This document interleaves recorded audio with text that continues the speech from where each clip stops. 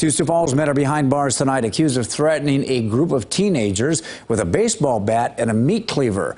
Around 4.30 yesterday afternoon, police say four boys and a girl were outside near 3rd and Prairie when a couple of teens went to cross the road. A van drove by and honked its horn.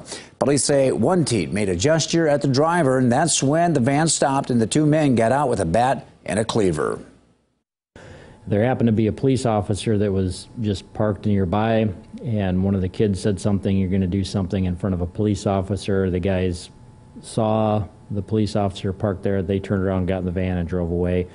The officer pulled over the van a short time later and arrested both men. Julius Highbear and Malcolm Lofton are both charged with aggravated assault. Police say no one was hurt.